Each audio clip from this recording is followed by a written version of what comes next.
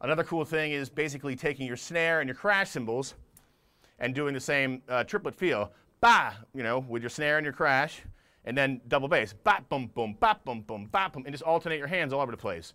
It can be fun. Here we go.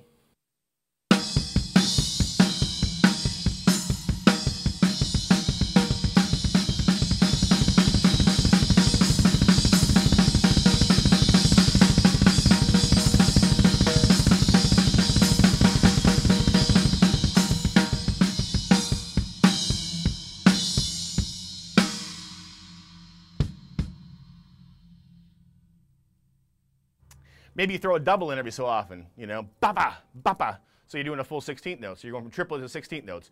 Let's hear that.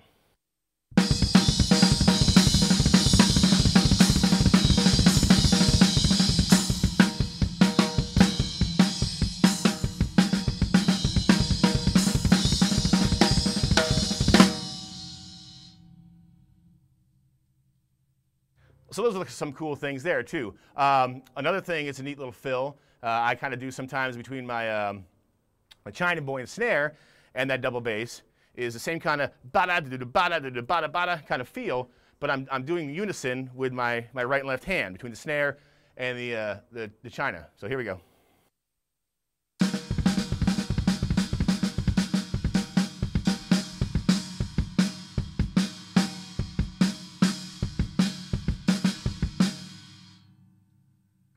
Notice that there's no exact set pattern. Just fool around with it. Uh, come up with something cool. These are just ideas to, you know, you know, get you thinking. So again, this is kind of cool in a fill. So here we go.